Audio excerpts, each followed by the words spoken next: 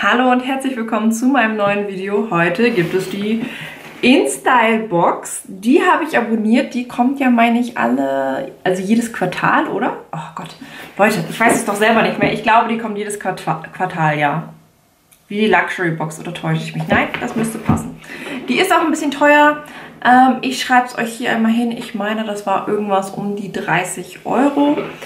Ähm, hat natürlich auch einen höheren Wert. Und wir gucken uns das Ganze mal an. Das ist jetzt die Herbstbox, sage ich dann mal. So, ich mache das Papier schon mal auf. Fall Edition 2024, genau. Da haben wir einmal einen Zettel drin und hier ist auch einmal was zum Scannen. Da kann man dann wahrscheinlich ein bisschen was, da geht es zum digitalen Magazin, genau. Da kann man was über die Box lesen. Ähm, Im Grunde sind da immer die gleichen Produkte drin. Ich glaube, es kann minimal Abweichungen geben, aber auch mehr in der Hinsicht vielleicht, dass die Produktart gleich ist, aber vielleicht mal eine Geschmacksrichtung oder so sich unterscheidet. In der InStyle-Box finden wir nicht nur Beauty, da finden wir auch so ein bisschen Lifestyle, Food, Drink, so ein Zeug auch. Genau, ich würde sagen, wir fangen direkt mal an und ich bin super gespannt, was so drin ist. Als allererstes sehe ich hier etwas, was ich richtig cool finde, weil ich liebe Ampullen. Und zwar sind das welche von Freiöl, da hatte ich auch noch nie welche, interessiert mich mega.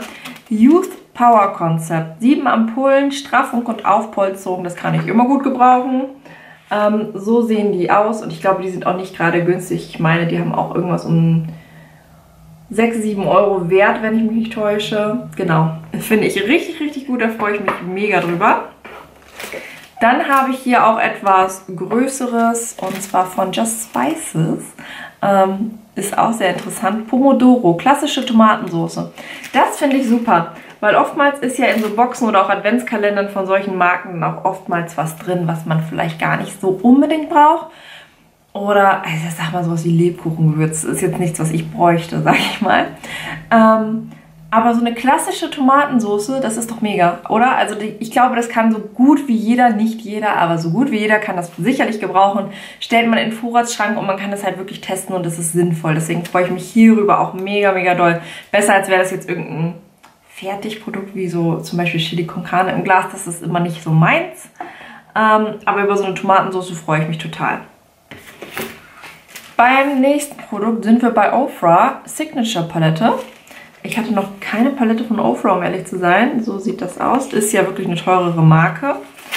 Ähm, das wird auf jeden Fall ordentlichen Wert haben. Ich hole das Ganze mal raus. Das sieht so aus. Das schlichte Ofra-Design, das kennt man ja, glaube ich, wenn man ähm, sich die Marke schon mal angesehen hat. Oh, okay, das ist eine ganz, ganz dezente Palette. Ich denke, das ist auch für viele Leute was. Also ich glaube, das ist sehr ansprechend. Ich glaube, weil ich von denen halt noch nie was hatte, werde ich die auch testen. Ähm, die werde ich behalten. Ich kann euch das auch gerne einmal swatchen, weil ich sie halt behalten werde. So, ich gehe mal in den Ton rein. Können wir mal gucken, wie das aussieht. Ich bin sehr gespannt. Das könnte auch gut dann so eine Reisepalette sein, weil damit kannst du halt wirklich schöne Nude-Looks schminken. Ich swatch das einmal gerade für euch.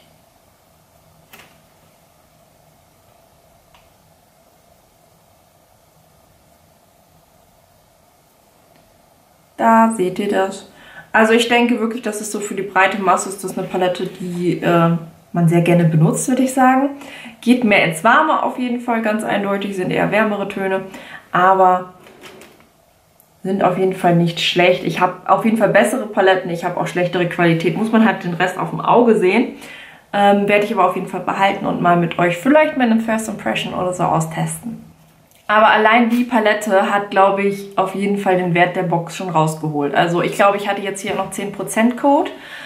Ähm, aber allein die Palette müsste so, ah, ich glaube, schon um die 30 Euro liegen. Deswegen schon mal nicht schlecht.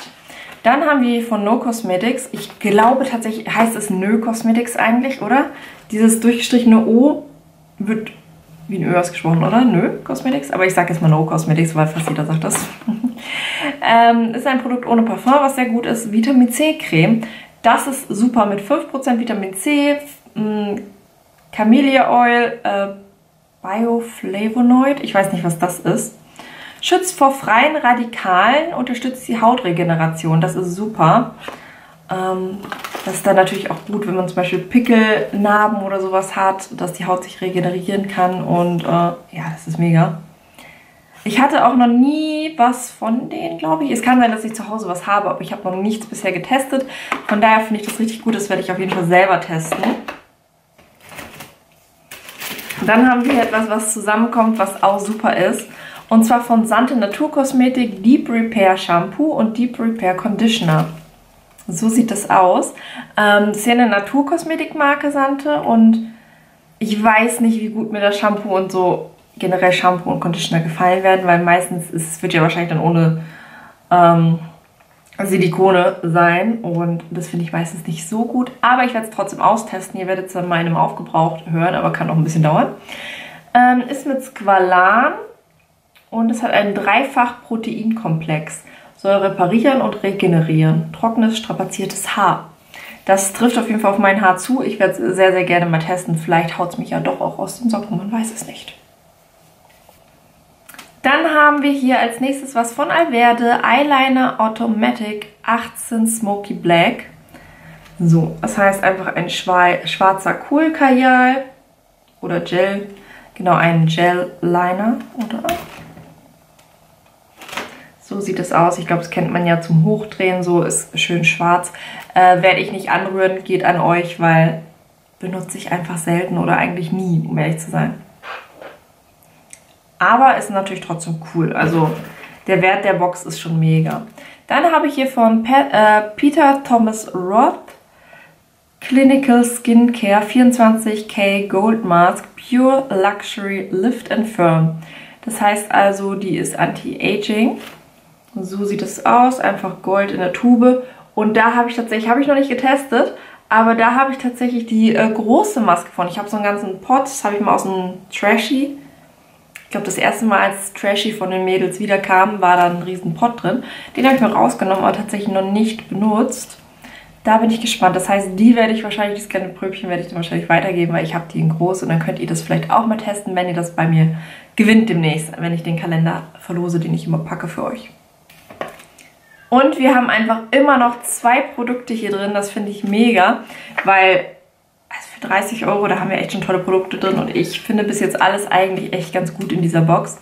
Da haben wir ja von Compete Anti-Pickle Patch. Das wusste ich auch nicht, dass Compete Anti-Pickle Patches hat. Kennt man natürlich so für Blasenpflaster. Ich glaube, dafür ist Compete einfach bekannt. Hier sind reinigende Pickle Patches. Soll reinigen, absorbieren und entfernen.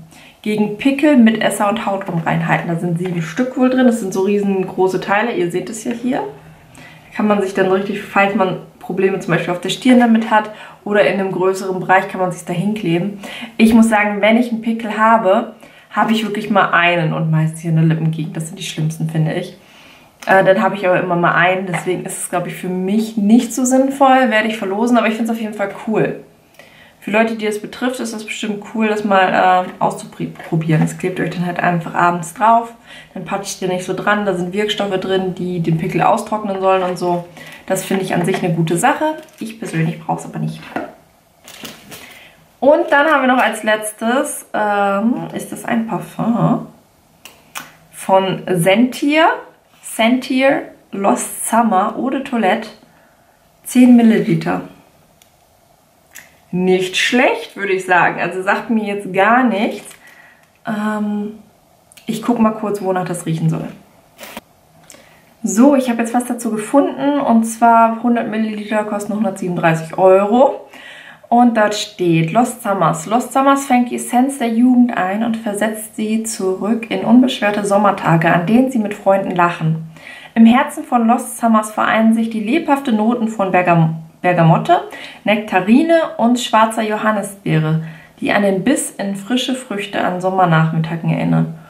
Das hört sich gut an, nach Nektarine und so. Johannisbeere, also fruchtige Sachen mag ich schon. Ich sprühe ihn einfach mal, aber für alle, die mich schon länger verfolgen, ihr wisst, ich habe es nicht so mit Düften. Also ich mag Düfte, ich kann die aber nicht auseinanderdröseln, was da drin ist, also vom Geruch her. Das fällt mir meistens schwer. Ich habe auch nicht so die beste Nase. Deswegen, ähm, ja, aber ich sprühe mir das mal einmal auf, um euch einfach so einen kleinen Eindruck zu geben. Weiß ich nicht. Vielleicht wollt ihr das hören. Vielleicht auch nicht. Boah, das riecht richtig gut. Das ist richtig ein Duft für mich. Ist noch ein bisschen stark, also wir müssen noch ein bisschen wedeln, sage ich mal, also ein bisschen der Duft sich entwickelt. Aber der ist schön. Ja, der erinnert mich schon an Sommer. Herbst, finde ich, geht aber auch noch. Und also so an Spätsommer und ein bisschen abends. Also ich finde jetzt nicht, dass es so ein super leichter Duft ist, so für tagsüber. Also das wäre es jetzt für mich nicht unbedingt. Aber so abends. Doch, so ein, so ein Abend, so ein Sommertag, vielleicht abends bei Freunden zum Grillen, sitzt du draußen, trinkst einen Cocktail oder sowas. Dafür finde ich, riecht er sehr gut. Ja, also man riecht auf jeden Fall das Fruchtige raus, das finde ich mega. Oh, Leute, ich kann gar nicht aufhören. Also den finde ich wirklich persönlich sehr, sehr gut. Und das war jetzt die InStyle-Box, die erste, die ihr bei mir hier gesehen habt. Und ich muss sagen, die hat mich komplett umgehauen. Ich finde sie mega. Ähm, ein, zwei Sachen, die ich selber nicht anwenden kann, aber trotzdem gut in dieser Box finde. Also keine Frage. Und super viele Sachen, die ich sehr gerne testen werde, mich richtig darauf freue, die ich auch noch nicht in anderen Boxen unbedingt gesehen habe. Also wirklich neue Produkte, man kann hier neue Sachen austesten, die ihr wahrscheinlich sonst auch noch nicht getestet hättet. Und das finde ich richtig, richtig cool und ich freue mich schon auf die nächste Box, auch wenn es noch dauert. Schreibt mir doch auch gerne eure Meinung rein oder lasst mir einen Daumen nach oben da, da würde ich mich sehr freuen. Und dann sehen wir uns beim nächsten Video. Bis dann!